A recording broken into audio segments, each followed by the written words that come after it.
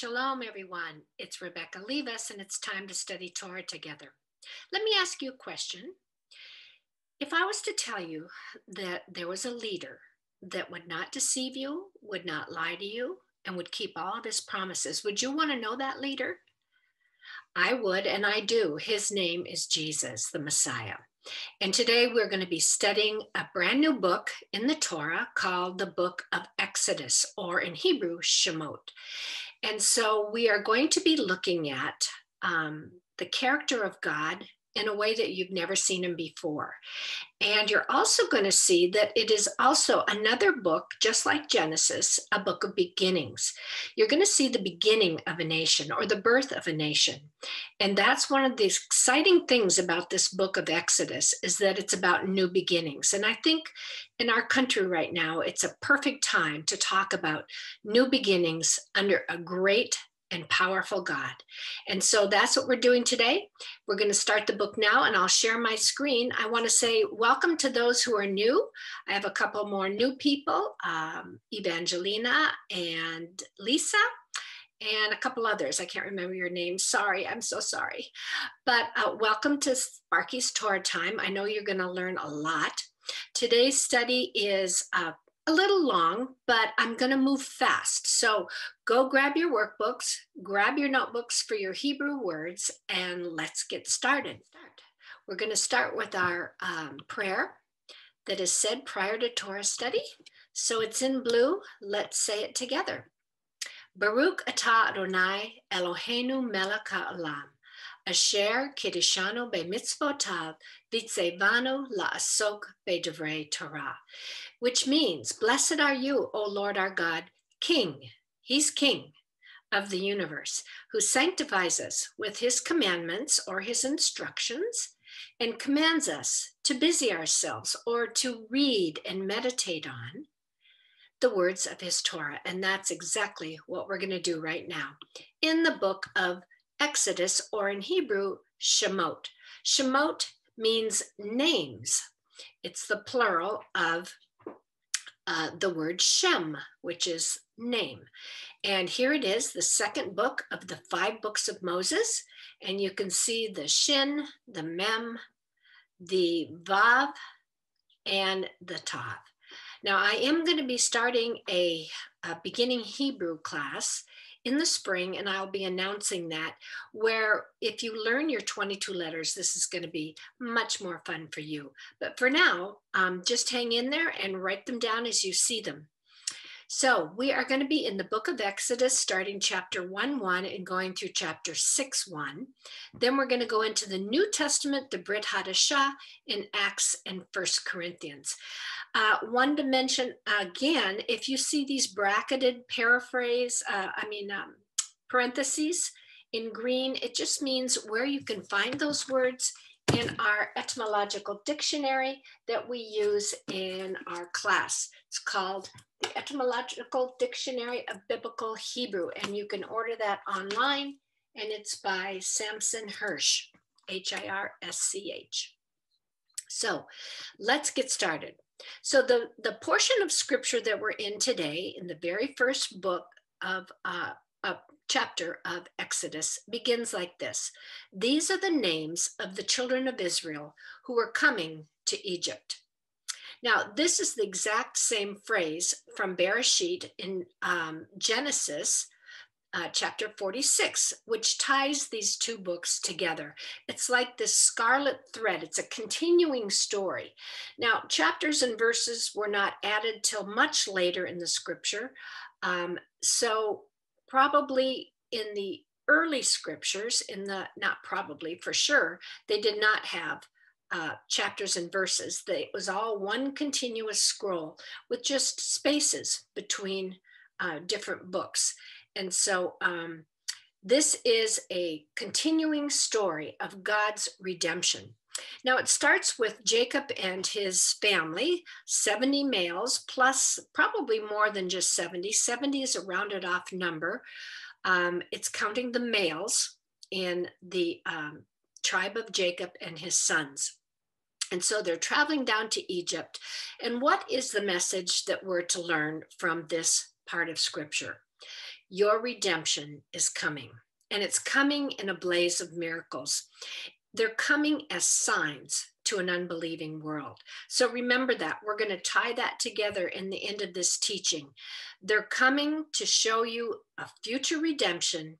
It's going to come with a blaze of miracles, and they're going to be signs to an unbelieving world or the nations around Egypt.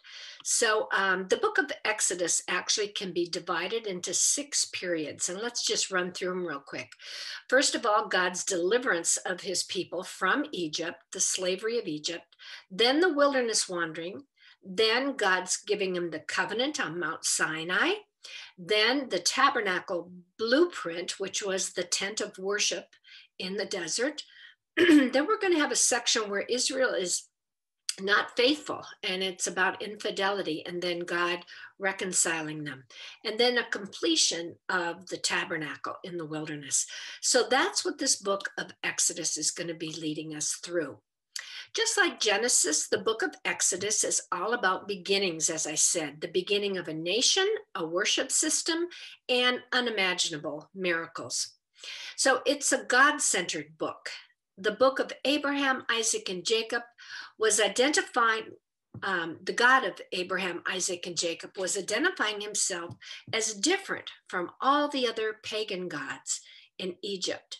So God identifies himself in the following ways He was the one true God, and he was above all other gods. He was creator of all things, yet outside of his creation, the area of his dominion was eternal and without boundaries, and he could control the elements. And we've seen this in the New Testament, and it began here. And he can also yet be very present and near. So, this is what this book is about God showing himself his true identity to Israel, to Egypt, and the surrounding nations. So, let's review where we left off last week. The Israelites are now in the land of Goshen, and it's right at the top of the Nile. It's called the Nile Delta. And they've been there now 350 years approximately and had become a huge multitude of people. Now, the Egyptians, remember, came from Noah's son Ham, but they were ruled by Semite brothers from the land of Canaan called the Hyksos. Now, Pharaoh's capital was in the city of Goshen, and in the ancient name it was called Avaris, and was thought to be ruled by these Hyksos, or what the Bible calls um, kings, yet pharaohs. And so, in the um, extra biblical writings about these pharaohs in this period in Egypt, they believe, many of the rabbis, that they were ruled by these shepherd kings that were really from the land of Canaan who came down and conquered Egypt. And there's much debate over the time period, but um, it would make sense to see this in that light because it could be a reason why um, Joseph and his family were given such favor and such great uh, land at the prime place where everything would grow, the delta of the Nile. And so it is believed that they ruled for about 200 years right before and during Joseph's journey into Egypt. And this could explain, like I said, one of the reasons they found favor since they were distant relatives. Various archaeologists, however, I've read a lot and researched this. There's a lot of biblical and secular um, archaeologists that disagree on the dating of these shepherd kings. And I just think it's interesting. I'm throwing it out there. It doesn't talk about this in our Bibles, but um, it is interesting and you can read about that yourself. Uh, and it's also mentioned by the great historian Flavius Josephus, who was a first century, first century believer and wrote about the history of the Jewish people. So he also mentioned these Hyksos, shepherd kings. And so I wanted to add that just for your own information. And then if you look it up in Wikipedia, the Hyksos rulers of Egypt, um, this should be Hyksos. So i'm going to correct that. Oops. Thank you. Okay, so Avaris is the modern city of today, Tel El Daba, or Ramses. And so here it is writing about it, the period of the Hyksos, the capital being Avaris, right up in here. And you can see the, the Nile River, and over here is Israel. This is the Dead Sea. So they're in the land of Goshen. That's where our story begins. So in this book of Exodus, the Abrahamic covenant continues. And this was God's promise, remember, to Abraham in Genesis 15. He said, Look up at the stars, so shall your offspring be. And the offspring in Hebrew is the word zerah. Zerah means a seed. So the seed of Abraham would have a multitude of offspring and they were be given the land of Canaan. So we see that here in Genesis 15. It's continuing right on into the lives now of Jacob and his sons. Stars and people really can't be counted now on the earth, but they do have names, don't they? And in the Bible, in Psalm 147, it says, God numbers the stars and calls them by name.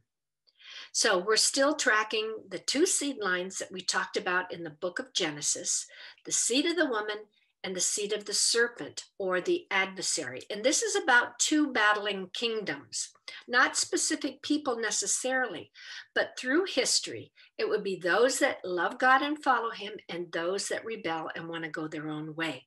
And that is the adversary against God and His people. And so we're going to continue that theme right on now through the book of Exodus. So I wanted to bring up this um, uh, review from when we were in Genesis to show you that we talked about Adam and Eve having a covenant with God. Then Noah had a covenant, and that involved a sign, which was the rainbow. And then the Abrahamic covenant was a sign of the blood or the innocent dying for the guilty. And now we're in the Mosaic, coming to the Mosaic covenant. And so I wanted to show you that each one of these covenants are building on another foundation. And we're watching a pattern that started in the Garden of Eden. And the whole purpose of these increased revelations through these covenants is that finally, when the Messiah comes on the scene, all these covenants will be fulfilled in Yeshua HaMashiach, Jesus, the Messiah, or Jesus Christ. So I wanted to show you that uh, tree in the very beginning with Adam and his wife. And then in the end, we're going to see the kingdom of God um, uh, shown in the final book in Revelation, where we have the right to eat from this tree of life and live forever. And uh, Jesus was called the second Adam, and we're called the church his bride. So this is the overall big big picture. There'll be words of the covenant. There'll be a sign and a seal. The sign will be the blood in this story. And so um, I wanted to review that for those of you who are just jumping in right now. So Shemot actually, Shem comes from a verb meaning Shema and it means to identify. It also means a name or to name something. And here's where you find it in your etymological dictionary. Now, interesting, you've heard this word before, Shema. It's a kinetic, uh, phonetic cognate of the word to hear. So look at the, how these words are related. The shin and the mem, the shin and the mem, they share two of the three root letters, so they're going to be related. So when you hear a voice, you can identify the name and see how they're related. Shema means to hear, and when we hear a voice, we identify it. When I hear my husband on the phone, I know his voice. And that's what Jesus said My sheep hear my voice, and they know it's me. And so these words are related. So this is the book that introduces us to the star character of Exodus, which is Moses, or I'm going to be calling him off and on Moshe, so you can get used to his Hebrew name. And he was the man whom God chose to identify the voice of God to the Jewish people and to Pharaoh and the nations around them. And all at the end of this book would know his name. And see, his name is Shem. And that's what they call God, Hashem, the name. And so I wanted to show you all these connections to the book's name, to meaning to hear, and to hear his voice and know him and be able to identify his voice. So, this is what we're going to do in this wonderful, exciting story. So, I love this little uh, joke I saw online. Moses was the first person with a tablet that could download data from the cloud. Isn't that cute? I saw that on somebody's website. So, in the book of uh, Exodus or Shemot, we start with the death of Jacob and all of the brothers of Joseph and Joseph. They're all dead now. And this new Egyptian Pharaoh is now in charge. He was now going to be king over all of Egypt, but he didn't remember and he didn't know all the favor and grace that God had given the uh, Egyptian people due to uh, Joseph and Jacob. And so um, he was about to make it worse for the people that were now uh, benefiting in Egypt, suddenly with this new Pharaoh, there would be a change of scenery. And I think that's also true in our nation, isn't it? So, new person comes in, you're going to see change. So, God is about to fulfill, however, the promise he had made to Abraham. So, this isn't all negative, nor is what we're seeing today on our news channels all negative. God is still doing his redemption process. And this is the time not for Christians to grow weak or fearful or quiet. This is the time for Christians to shine, to be about your Father's business. These are exciting times where Christians can stand up and show the world what it means to love well, to lead well, and to be loyal to the one who can make all the difference in the world, and that is the one true God. And that's what we're seeing done here. What seems evil will actually be turned around to actually change the world and change people. So keep that in mind. So, what was Moshe's mission? As a man, he was going to function as a prophet, and the Jewish people call Moses the number one prophet above all prophets. He's the only one that God spoke to face to face. He would also act as a redeemer and then as a high priest to intercede for God's people. So we're going to see that unfold in this book. Moses' birth and early years were filled with wonder, exhibiting God's power, blessings, and favor in the palace of Pharaoh. Now, very little is said from the time Pharaoh's brought to the palace to the point where he goes out one day and he's a grown man. So we can assume something from this uh, period of time that might have been going on because of the history of what went on in the palace of the pharaohs. First of all, Egypt was the mightiest nation of all in the ancient world, but also the most pagan. Now, look, they had gods for everything. They had hundreds of gods. And a lot of them were about animals and birds and crocodiles and snakes and gods and goddesses. Um, they were a very pagan group of people, even though they were powerful. So let's look at Moshe's name itself. The Hebrew name Moshe is actually a mirror image to one of the names of the God of Israel. Remember, I said God is going to be called Hashem, the name. Here it is, Hebrews read from right to left. So here is Hashem, the name of God. And look, if you turn that around, it's the name of Moshe. Isn't that amazing? Look at these letters. It's a mirror image of what God was going to do to reveal himself and identify himself through Moses. So Hashem is the name for the unspeakable name of God, and this is called the Tetragrammaton. And you're going to see these letters show up in this teaching later. This is his name that he's going to reveal to God, uh, uh, to Moses in this story. So his name, Moshe, means to be drawn out of water. The rabbis teach that Moshe functioned as the very first redeemer of Israel and that the Messiah be like bookends Moses, Messiah, Hashem working through Moses, and ultimately Moses doing similar things that the Messiah would do. And remember, I said Torah is all about pointing to foreshadowings and patterns of the Messiah? Well, that continues through this book of Exodus.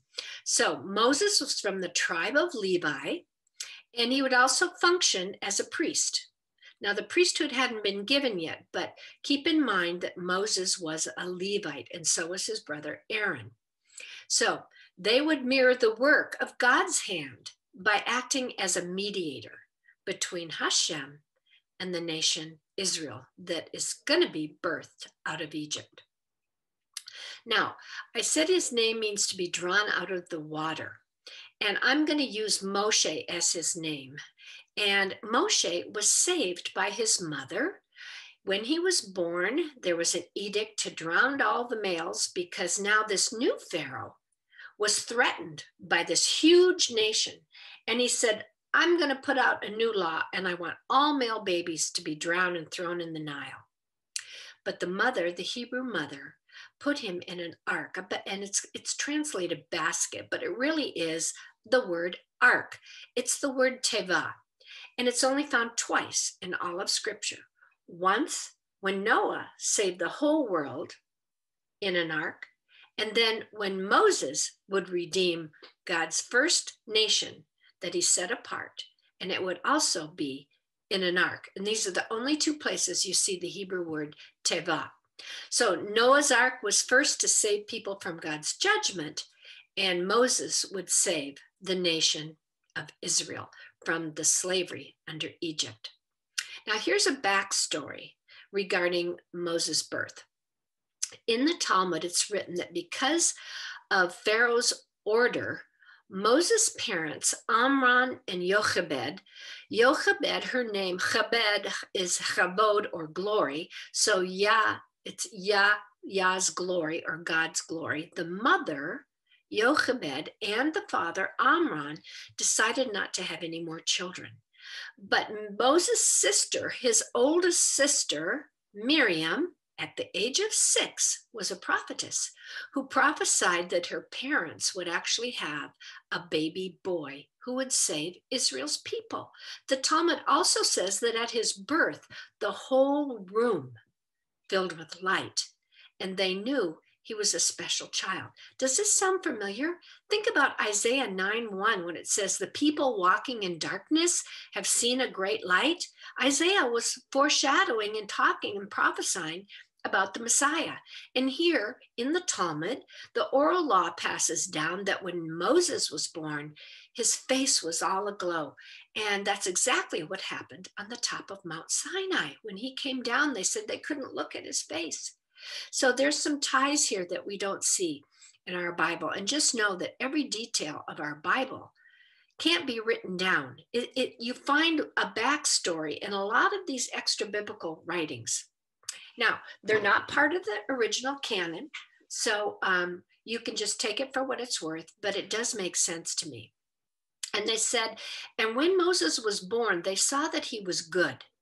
Now, I want you to see that some translations say that he was beautiful, or they saw that he was um, uh, a, a, good child or a perfect child, or um, they use any word but tov. He was good. Now, in Hebrew, they're taking you back to a word that was used in the very first of the creation. Everything God was about to do to prepare the world for his kingdom, he called good. And that's exactly what they said about this child who was born with his face full of light. He was a good child, meaning the same word, it was complete. And good means complete and ready to function in design and purpose. And that's exactly what happened at the birth of, of Moses. And I think it's beautiful how these Hebrew words can be seen uh, linguistically to other things in the Bible. Now, the rabbis are very familiar with this kind of study, and this is why I love to study with the rabbis. So I only quote them when they agree with biblical truth or um, things that we know that are true as Christians and, and reflected in the New Testament. So, some of these things I throw out there just to show you what the Jewish people believe, and then some of it you can take or leave. So, it's up to you. So, in Exodus, Moses' parents and sister are not named. Isn't that interesting? However, two midwives are named. Now, one is called Shiroth, or Shifra, sorry, and tradition in the Talmud says this was actually Moses' mother. And Pua, and they say Pua was Miriam, the sister. Now, doesn't say that in our Bible, but that's what the sages say that these are their Hebrew names of actual Jochebed and Miriam. Now, uh, Shifra means to make clear or to brighten or to be balanced. And um, it's interesting that if it was the mother, then she would know clearly how to take care of this baby. And then she would live out her, her purpose to uh, keep a balance. And I think that's interesting. And if Pua was actually Miriam, her name means to cry out or to coo or to burst forth. So if Miriam, the sister, was in fact a prophetess, she would speak out and cry out or coo. So that could that could be true. So anyway, God made them houses, it said, and they were named in this book. Not Jochebed, not Amram, but these two. They were women. And it says that God made them houses, not literal houses, but the rabbis say dynasties came from them. That Jochebed descendants be, became some of the Kohanim or the priests, the Levite priests, and that Miriam's descendants were associated with royalty through King David through marriage. And this was also talked about by the sages. Their names will also be in a book in the end of Revelation, which is the book of life because it said they did what was right in God's eyes instead of what Pharaoh said.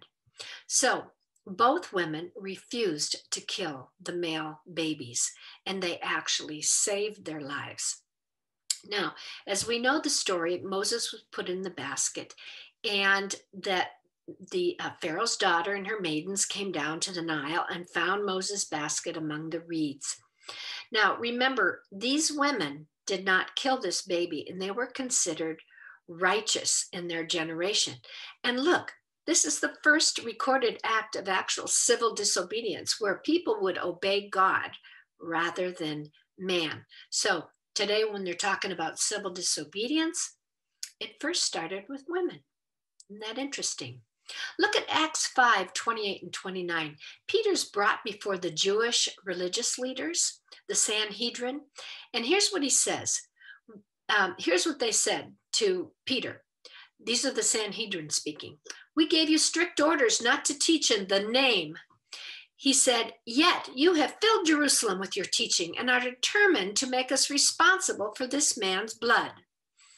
But Peter and the other apostles replied, we must obey God rather than men. And so uh, we see this also echoed in the New Testament that these women would do what was righteous or right in God's eyes. And so that's how we're to pray as Christians today. Lord, let me do what's right in your eyes. Let me speak truth. Let me live in love. And let me be about my dad's business, sharing with the world the good news that they don't have to depend on religious systems. They don't have to depend on government. They don't have to depend on the parties. That the one that they need to de- know and depend on and trust in is the Messiah, Yeshua HaMashiach. And so that's what I'm all about. So Moses' early years, he grew up in Pharaoh's palace. So, what would that have been like? He would have received the finest education in all of Egypt. He would have been taught in culture, religious practice, battleground strategies, science, architecture, astronomy, and art and agriculture. So Moses became a man full of wisdom and skill and knowledge, and this would serve him well as he was the one chosen to lead this whole multitude of people out of the hands and grip of the cruel taskmasters of Egypt and out into the desert as free people. So he lived in the palace of Pharaoh until about the age of 40, the Bible says. So now he's a grown man full of wisdom and knowledge. So his life would be filled with wonder, and he was the herald to the nations that Adonai was first over all other of their little mini gods that were in Egypt. Another interesting thing that you wouldn't see except in Hebrew is that that Moses was showing everybody that the God of Abraham, Isaac, and Jacob was first. And that word first is Aleph. And it means the same word in a mirror image, a wonder. Isn't it amazing? You see the Aleph, Lamed, and this is a pay, but an ending pay looks different. It has a long tail. But you see the pay, the Lamed, and the Aleph, just as you did here. Aleph, Lamed, pay, pay, Lamed, Aleph. And that the first God was about to show them all the wonders that he had coming from his strong right hand. And so I explain here the pay and the fey, how they uh, are similar, um, but the um, fey has no dot in it or a dagesh. So those of you who have taken my class, remember that, that this is actually a fey, fey feet, and this is a pay. Okay, so for those that don't know Hebrew, I'm going to move on. So uh, I'm going to move on. Aleph Aleph is also the word for an ox or a calf.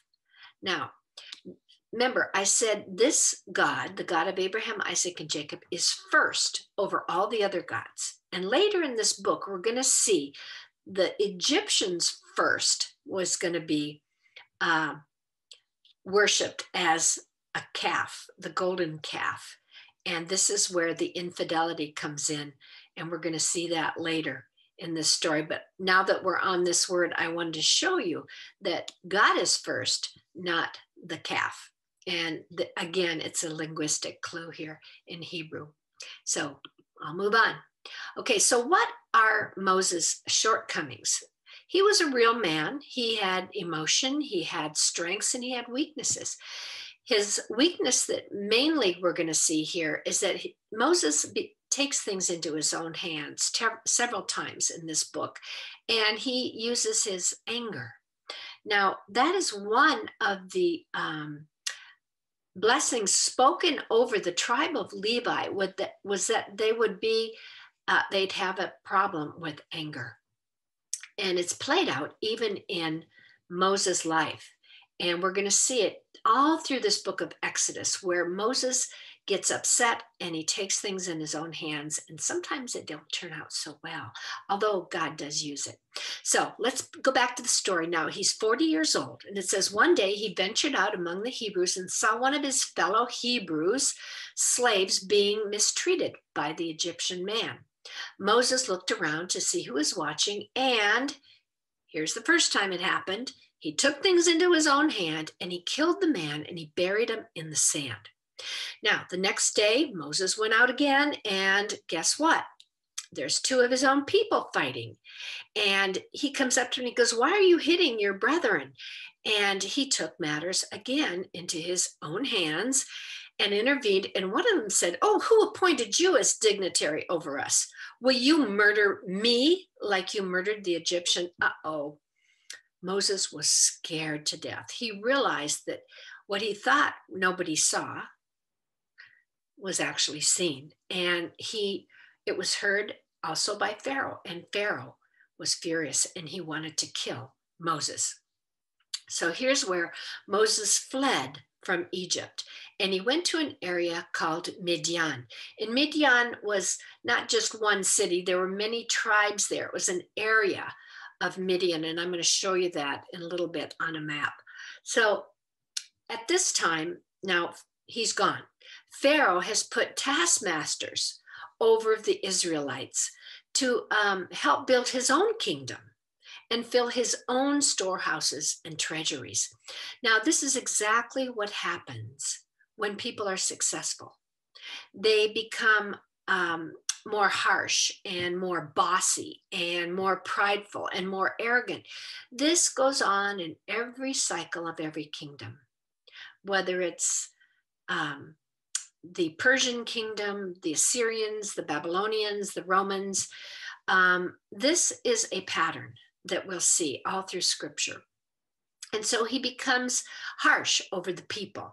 And this is also the very first pogrom principle. And we see it in full force. It means forced labor with the goal to break them down or exterminate them eventually. First, use them and then abuse them.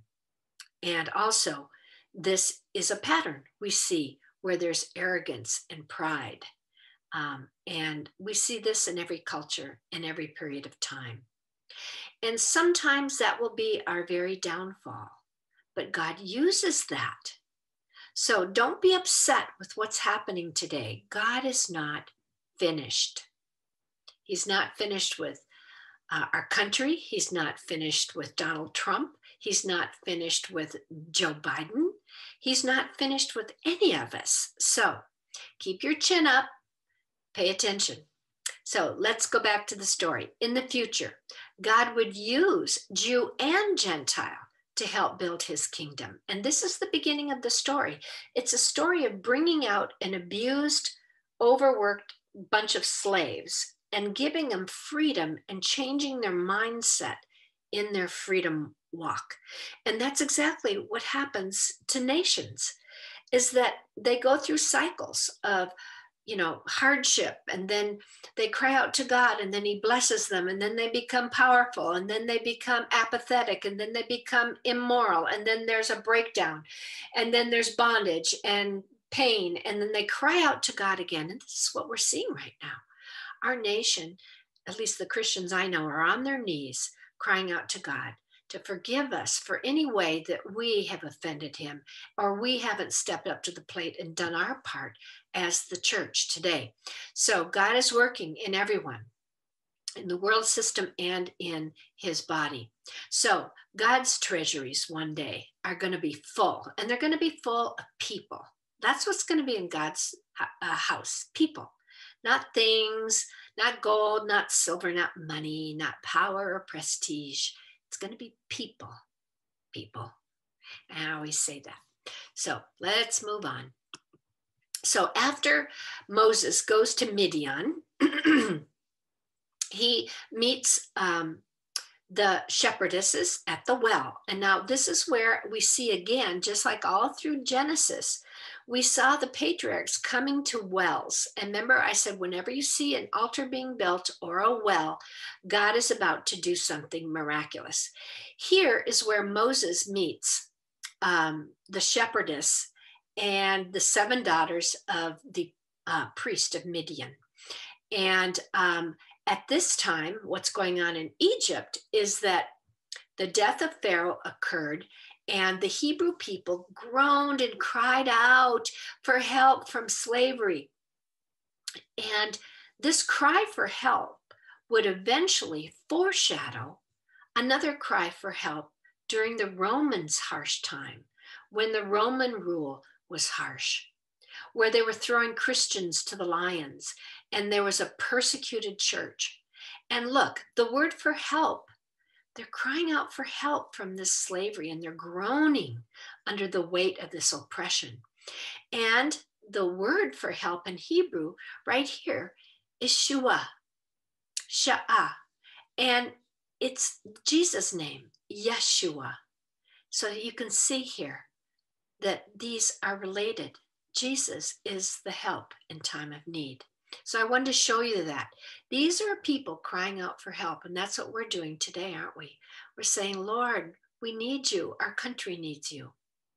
So it said, God heard their cry, God remembered his covenant. that he had with the patriarchs, and he saw the children of Israel, and he knew, he knew what was going on. And God knows today what's going on.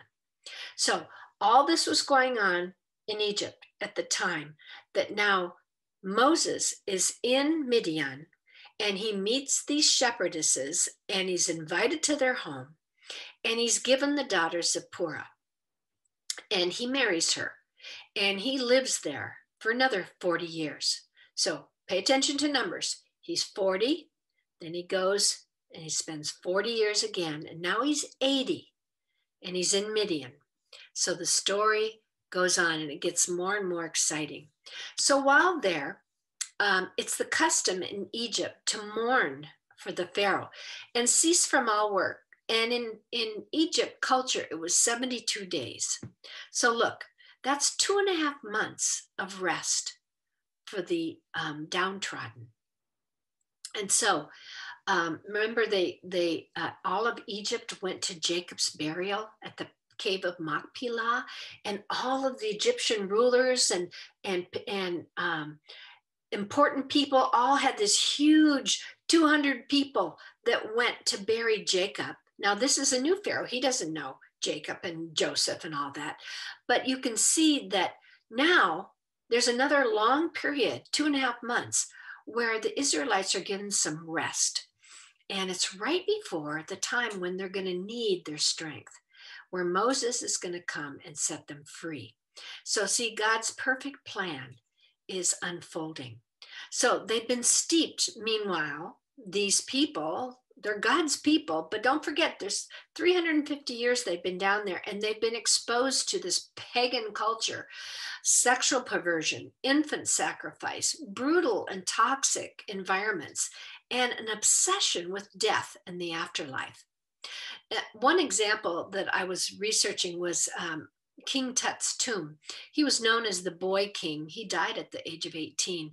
He had a four chamber tomb, and in there were over 2,000 articles they found um, all these articles for the soul of the person to enjoy. See how crazy this was?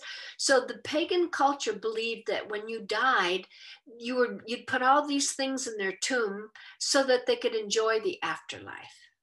This is very much like many false religions today that talk about coming back, reincarnation.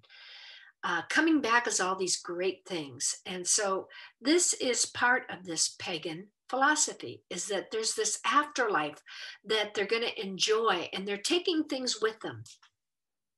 You can't take anything with you, people, except other people. But look what they found. They found gold uh, thrones and chests of jewelry, gilded beds, even chariots, alabaster jars full of perfume, weapons, and religious articles. Wow.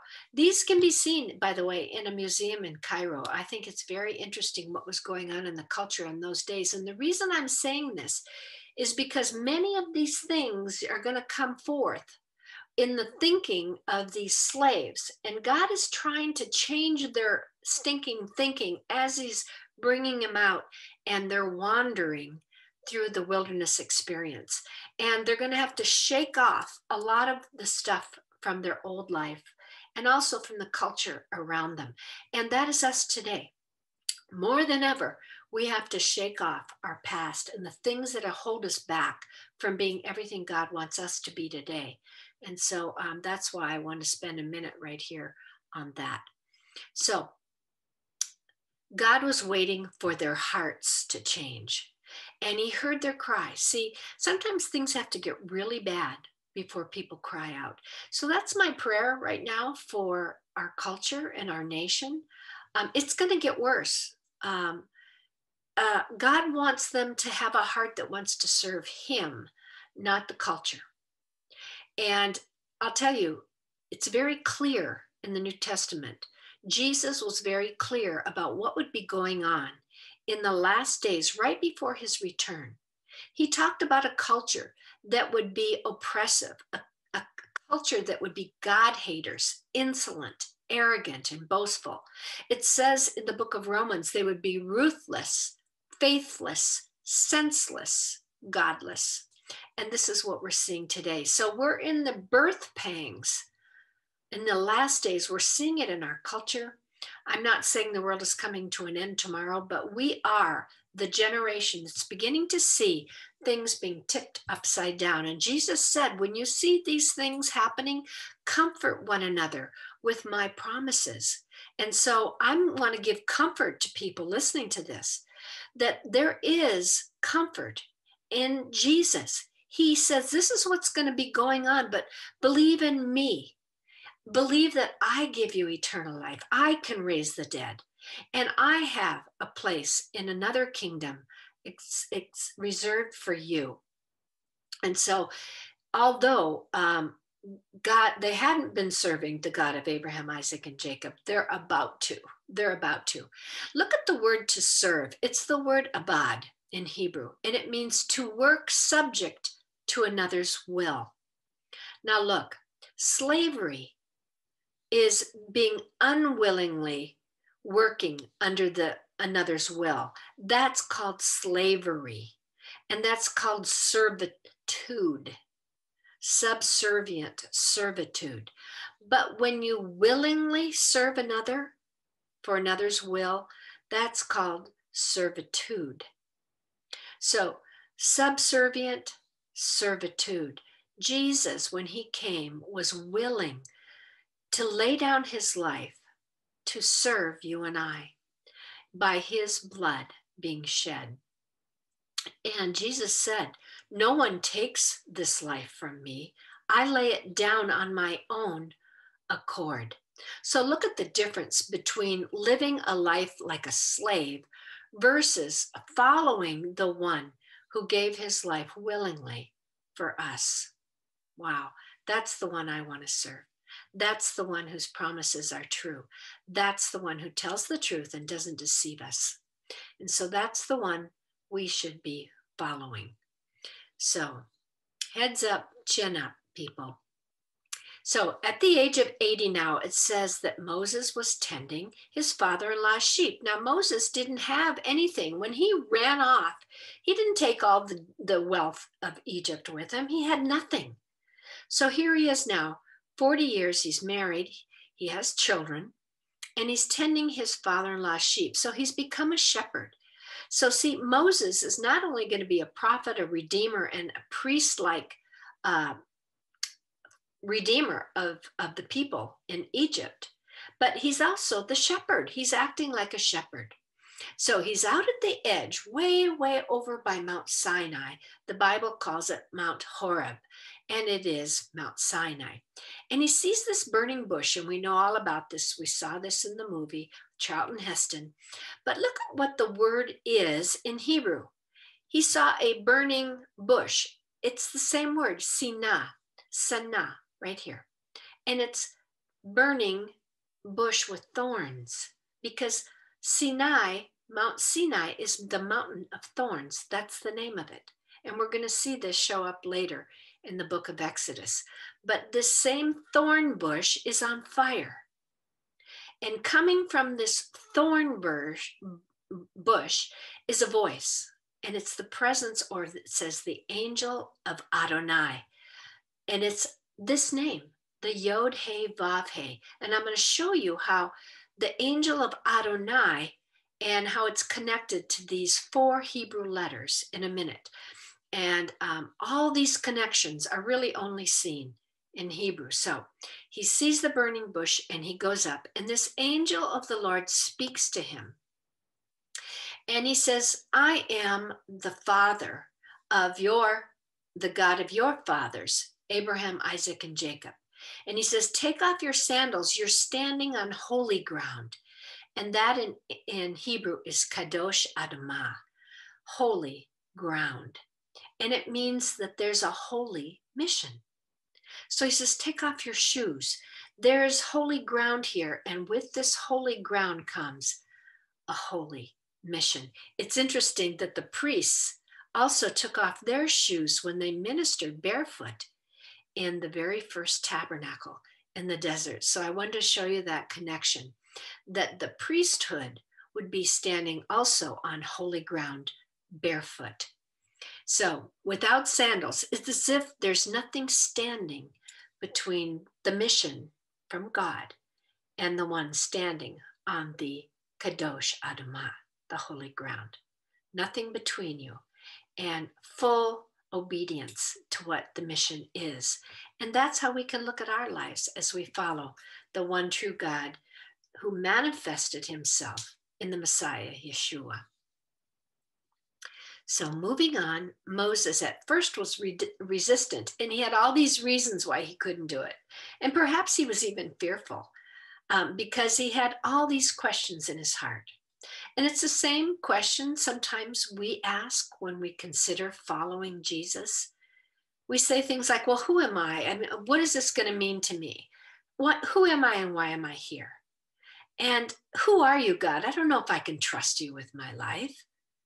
And then he says, Who should I tell them sent me when I go to Egypt to go set the people free? So it's the same thing that we say. You know, who am I to go? Are they going to believe me? Who should I say sending me? And, and what if they don't believe me? Or if you're now living for Jesus and you have others, maybe in your sphere of influence, that you want to talk to about the good news, and maybe you've been holding back, and it's time to shake that all away and say, This is the time. Never before in history has it been more important to share the good news of Jesus than right now. So he said, I'm sending you to Egypt to release my people from bondage, and I will teach you what to say. So that's exactly what happens when we go out in faith is that we just go and say, well, okay, Lord, I don't know this person that well, but you told me to go and you'll tell me what to say when I get there. I'll trust your Holy Spirit that lives in me. And so he says, I'm going to also bring you back to worship me on this mountain. Now, you don't see this in, in your English translation. We just see the word worship me, but it's the same word to serve him. It's the word abad right here. And it's the servitude willingly serve me on this mountain. So God wants a willing servant heart, not a subservient heart, that we do it out of regret or we do it out of remorse or we do it out of guilt or obligation. That is not true faith. That's religion. You know, cross yourself, kneel, bells and smells, worship, make you know funny sounds uh, sit and smell incense. This is man-made religion. That's not what i'm talking about. I'm talking about a heart that's broken that says i'm a broken person. That's what evil means in hebrew. I'm broken. And in my brokenness i need you to fix me. And he does it by filling us with his spirit so we could have a new mind. Not a mind of slavery back there but leaving that shaking it off and becoming transformed by the renewing of our mind. That's what the scripture says. So, this is what's happening to Israel as a nation. So, he makes all these excuses. I'm slow of mouth and slow of tongue. And then God says, Aaron will speak for you, and his heart will be willing. And he will be your mouth, and you will be like God to him. So again, Moses is going to be functioning under the godlike qualities of Hashem. And that's why he said, Take your shoes off, Moses. You have a holy mission here. And Moses says, Who should I tell him that you are? And here's what he says Ehyeh, asher, Ehyeh in Hebrew. Literally, if you were going to translate, that means I am, will be what I am, I will be. And we, we see it translated in our Bibles I will be what I will be. That is my name forever. Tell them I am sent you, or Ehyeh sent you. Let me show you the beauty of these letters. When it says, I am Adonai, the Yod He Vav He, is the God of your fathers, you shall call me that name forever. This is who God identifies. Remember that name, Shemot, means to identify he's identifying himself to the people as the Yod He Vav He. And he says, that's my name forever. And in the New Testament, the Apostle Yochanan or John in the book of Revelation called him the one who was and is and is to come. It's the exact same concept the one who was and is and always will be, the eternal one. And boy, this is the best definition for truth. When people say, Well, what is the truth? You have your truth, I have my truth. Here's a great definition for truth what was, what still is, and always will be. The truth is, this is an earring. It always was an earring once it was formed. It always will be. And it is now, always will be. So, truth is something that doesn't change with the culture, it's not progressive. Truth remains stable and steadfast, and that's the foundation. And you can build things on that and it can it can have a different look to different people but the foundation the sod in hebrew and that's the same word for ground by the way adama is the sod the ground and so the foundation is truth so in order to know truth you have to know god's word so we see a lack of God's word, people knowing it. Even his own Jewish people don't know their Bibles. They only know what their rabbis tell them. And many of them, if you if you quote different things in their scriptures, they have no idea what you're talking about. So that's why we as Christians study Torah, so that when we speak to our Jewish brothers and sisters and relatives, family members, we speak their language. We understand where they're coming from. And this is why we have to know our Bibles backwards and forwards. Read through it every year. This is why at Calvary Chapel they go a year through God's Word every three years. Some people do it every year. Know His Word. There's no time like today to know His Word, to meditate on it, to memorize it. So these four same Hebrew letters called the Tetragrammaton are used in this phrase in Hebrew who was, who is, and is to come, like we see in the book of Revelation. Look, Hayeh Hove Yeye. This is what is translated in Revelation, who was and is and is to come. And look, it is all the letters of his identity. Adonai is Yod He Vav He. Do you see all these letters? There's nothing here but a Yod, a He, a Vav, or a He all through it. So, John talked about this in Revelation 4 8. The four living beings, day and night, never stopped saying, Holy, holy, holy is who? Yod He Vav He, who was and is and is to come. Isn't Hebrew a beautiful language? Wow. Okay, I hope you wrote that down in your workbook, in your little notebook. So Moses doubted, and God said, I'm going to give you two signs. He says, What's in your hand? And he holds up and he says, Okay, a staff. And he says, Take it with you. And once you let it go, he says, Throw it down. And it turned into a snake. And then he said, Grab it by the tail. And it turned back into a staff. Now, it turned into a snake, which is uh, the word an unclean thing. So Moses wouldn't have touched this as a Jew.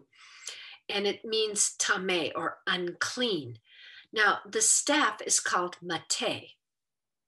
See, it's got some of the same letters, but also in Hebrew, it has the letter nata. Now, nata means a tribe. So a staff is also this word, a tribe or meaning to spread out. So God was going to use Moses' staff to help the people spread out. And we're going to see a snake appear again in the book of Exodus that, that God is going to show um, the way to be saved. And it's going to have to do with a snake. So pay attention to that. I'm just showing you that here because we're going to see it later. Now, the second thing that was going to be a sign was he said, put your hand inside your jacket and he pulls it out and it's white with some disease. Now, it wasn't the disease that we know as leprosy. It was a, some disease that we don't know what it is, but it was given to those who had a problem inward spiritually with a heart problem or a mind or an attitude, and they were given this white debilitating disease. But it wasn't Hansen's disease. It, it, it's unknown what it was. But it would be on clothes and it would be in houses and stuff like that. So um, it was called Zara and it means unclean. And so he says, put it in your heart, uh, put it in your coat. And to me, what that's saying is if you take something and then it's done in your own hand, remember, remember I said he would be one that he would use anger and take things into his own hands. The second sign before the people would be this hand changing and coming back to being healed. And so it is a, a reflection again of what we're going to see happening in Moses' very life, as well as these signs to Pharaoh. So it's it's a double meaning here. It's like in scripture you'll see a what they call duality reality where you see it meaning literally one thing but it'll have another meaning at another time but it'll be parallel in its spiritual meaning called duality um, reality so um, so this is my thinking is that um, perhaps he had him put it in there. Could it have been symbolic of work to be done yet in Moses' heart? Remember the Egyptian when he took things into his own hand? Um, God was not only changing Israel as a nation, but he was changing Moses as a man. And God does that in our own lives as well. So Moses says, then he goes back to Jethro and he says, I got to go to Egypt and I'm going to take my whole family. And Je- Jethro gives him his blessing, and Moses takes his two sons and his wife. And on the way, he's got two sons, Eleazar and Gershom. And he takes these sons and his wife Zipporah, and they go on their journey. On the way, Moses hadn't circumcised one of his sons. And God said he was going to kill him. And he told Zipporah, the wife, to have uh, the son circumcised or Moses would, Moses would die. So once again, we see a woman stepping up here and saving the day, saving Moses' life. She circumcised the son and then she throws it down in the sand and she quickly circumcises Eleazar and threw it at Moses' feet on the ground. And he says, she says, now you're a bridegroom of blood. Or now Moses was truly in covenant uh, fully. In other words, he was supposed to have done that, and the wife stepped in. And you're going to see women stepping in uh, in scripture where the husband or the male wasn't obedient, and a woman will come and save things. I think it's because the woman's heart is tender. You know, in the New Testament, where it says, you know, husbands love your wives as weaker vessels, that word in Hebrew, weak, means tender and flexible, not rigid. And so we as women have tender hearts that are flexible and malleable, where sometimes men can be more rigid. And so that's what it means by being weaker, not weaker physically or weaker spiritually, but it can mean also compassionate and tenderhearted and more open to the things of the spirit. And so um, that's perhaps what's happening here. Look at what foreskin means. Foreskin is what they take off and separate from the man. And because in Hebrew, this word ariel means to resist or restrict power, to limit one, and it means unyielding. Isn't it interesting what the foreskin means? So it's almost like God is taking this part of you and saying, This has got to go so that the seed can be revealed. Wow, that's huge spiritually. It's like an uncovering of the source of the seed or the next generations to come. So, in the spiritual realm, we have circumcised hearts as if to say, there's nothing to restrict us or limit us in our identity, following God as his seed, being born of the Spirit. So there'll always be enmity between those two seeds and those two kingdoms. And it'll be man's kingdom versus God's kingdom. And we see it today. We see it between Israel and the other nations, and we see it between God's people, the evangelicals, the uh, people that want to preserve and care for the, unbound, the unborn baby. We want to guard and protect the home. We want to stand for religious freedom, not just for Christians, but for all people. And so the things that we stand for are biblical. And uh, I'm proud of that. And I will not change my thinking when it comes to that. So Moses and Aaron showed these signs to all the elders when they went to Israel. And all the elders then believed that they were sent by God. And so they go to Pharaoh. And Adonai says, Israel is my firstborn. I have told you to let him go in order to worship me, but you refused. This is what Aaron and Moses tell Pharaoh. He says, But you refused. Well, then I will kill your firstborn. So, just like Israel was going to be born as God's firstborn nation, God is saying to Pharaoh, If you don't let him go, I'm going to kill your firstborn. So it's an eye for an eye principle, or you reap what you sow. So just like they were throwing the male children into the Nile, you're going to see this come back on Pharaoh and the Egyptians. So Pharaoh's response is, Who is Adonai? Who is this Yod He He? I don't know that name. So there's this mocking spirit, and we talked about that in Genesis, that the mocking spirit would be the one that resists the things of God. And we see that in our world today as well.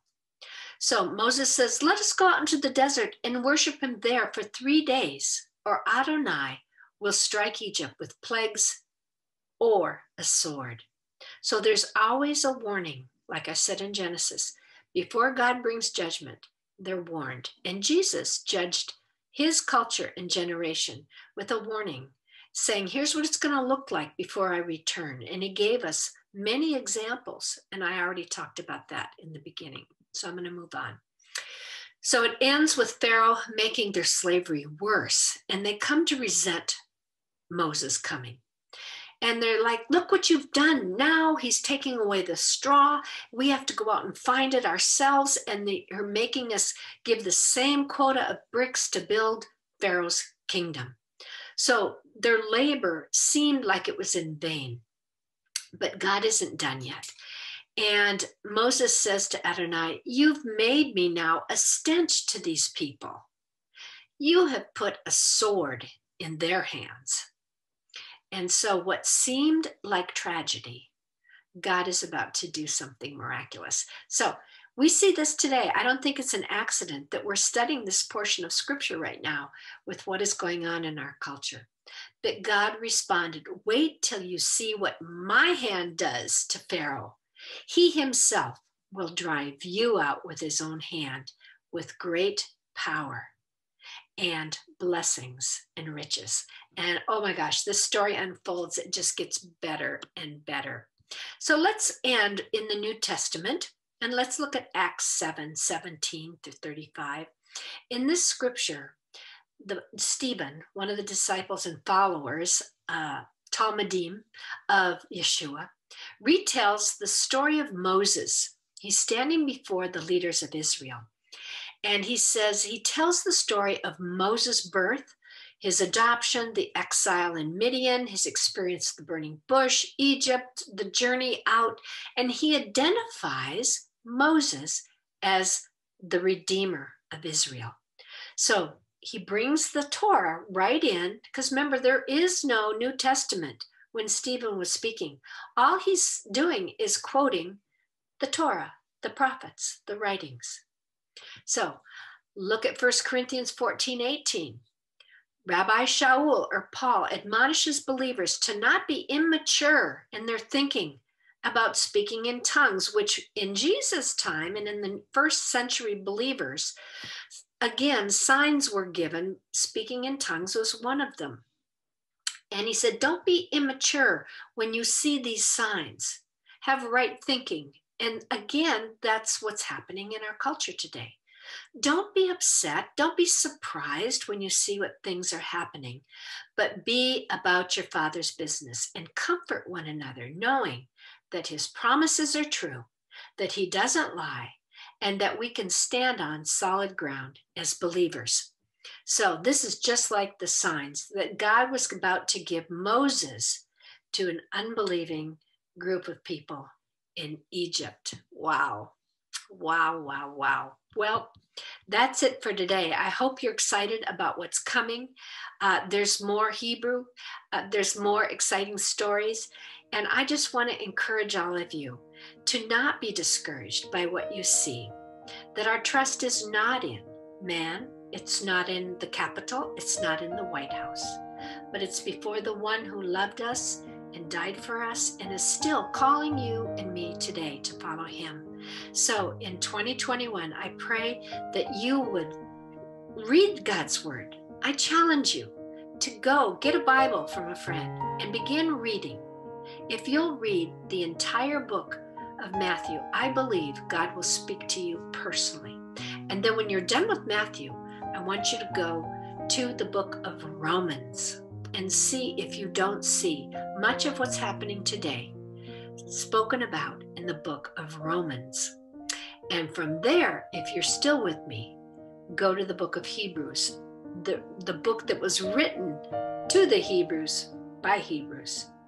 And you'll see the, the story unfold beautifully as the Torah and the New Testament are brought together with the good news of the Messiah. So God bless you. Shalom Aleichem, and I'll see you next time. Bye bye.